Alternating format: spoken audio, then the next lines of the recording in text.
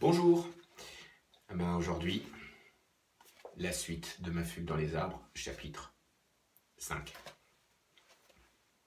Je vis dangereusement.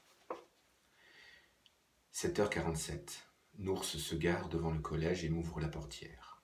Nours est ponctuel. À 7h32, il a déposé Sylvain devant son école. À plus de trouilleux Au moment où Nours allait me sermonner, mon frère m'a lancé. T'as triché à la course. Nours n'a pas dit le temps parce que c'est moi qui ai gagné. Nours lui a lancé un regard fatigué.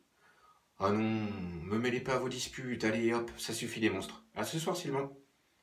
Plus tard, Nours me met le sac sur les épaules. À tout à l'heure.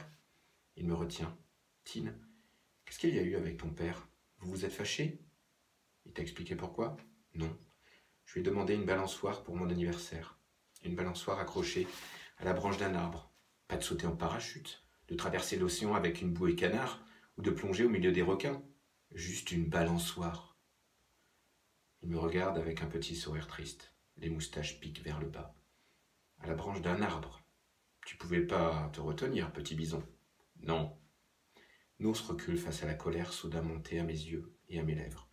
La violence de la lave rouge qui me creuse me surprend moi-même. J'en ai ras-le-bol de faire comme si tout allait bien. Les têtes se tournent vers nous. J'en ai assez, Nours. Assez de notre pauvre jardin vide.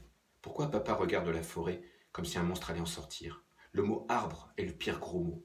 On n'a pas le droit d'aller dans la forêt. Et pas le droit de poser de questions. La dernière fois qu'on s'est promené avec lui, Sylvain s'est hissé sur une branche d'arbre. Tu t'en souviens?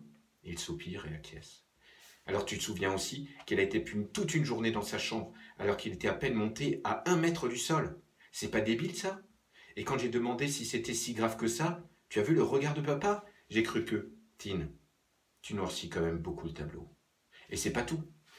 Il ne nous embrasse que la nuit, à la sauvette, comme si notre peau le brûlait. Et je sais que si j'ouvrais les yeux, si je le prenais dans mes bras, il fuirait et ne viendrait plus jamais. Tu vas quand même pas me dire que c'est normal, non? Tous les papas font ça? Je grelotte, comme si j'étais vêtu d'une robe de givre, quand on me met la main sur l'épaule. Camille me sourit. Salut Tine, tu viens? On va être en retard. Je m'éloigne en lançant un ours. Je veux des réponses, et j'en aurai. Mon cœur bat vite. Je jette un œil au pantalon de Camille. Grouille, dit-elle dans un souffle. On fonce aux toilettes, toutes les deux serrées, silencieuses, efficaces. On connaît les gestes. Moins de deux minutes plus tard, Camille sort habillée avec ma robe, moi avec son pantalon et son haut rock and roll baby. Mon cœur est calmé, j'embrasse Camille. T'es super belle dans cette robe. Elle vient d'où celle-là? D'Afghanistan. Waouh Ton père il est là-bas? Plusieurs fois, oui. Oh, il est cool ton père. Ah ça non. Il est pas cool du tout, du tout, du tout, mon père. C'est pas le genre de Yoda.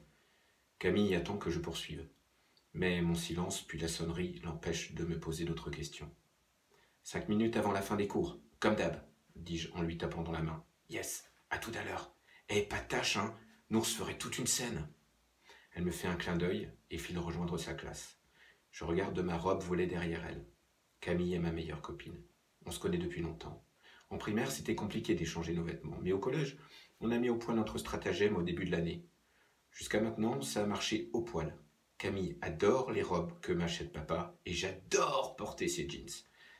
Quand papa revient avec une robe, je ne souris pas parce que je la trouve belle, mais je me réjouis du plaisir que je lirai sur le visage de mon ami. Le matin, on se téléphone en cachette pour qu'elle me dise la robe qu'elle aimerait porter et l'accorder à son vernis à ongles. Parfois, on échange même nos chaussures, parce que les grosses baskets avec une robe, carrément pire que bof. Inutile que de dire que mon père et Nours ne savent rien de nos magouilles. Et comme mon frère est encore dans sa petite école jusqu'à la fin de l'année, j'ai quelques mois de liberté devant moi.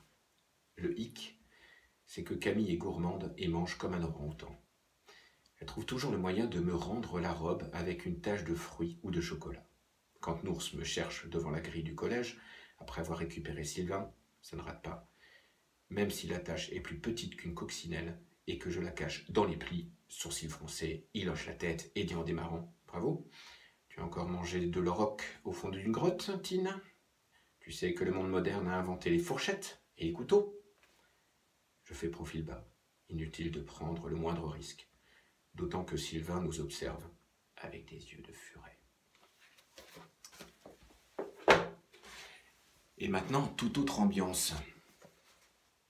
Le bruit et la fureur de William Faulkner pour les plus grands. Le tout début, à travers la barrière, entre les grilles des fleurs, je pouvais les voir frapper. Ils s'avançaient vers le drapeau et je les suivais le long de la barrière. Luster cherchait quelque chose dans l'herbe, près de l'arbre à fleurs. Ils ont enlevé le drapeau et ils ont frappé. Et puis ils ont remis le drapeau et ils sont allés vers le terre-plein. Et puis il a frappé et l'autre a frappé aussi. Et puis ils se sont éloignés et j'ai longé la barrière. Luster a quitté l'arbre à fleurs et nous avons suivi la barrière. Et ils se sont arrêtés et nous nous sommes arrêtés aussi. Et j'ai regardé à travers la barrière pendant que Luster cherchait dans l'herbe. Ici, Caddy. Il a frappé.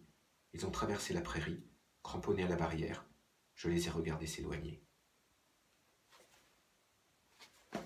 Belle journée. À bientôt.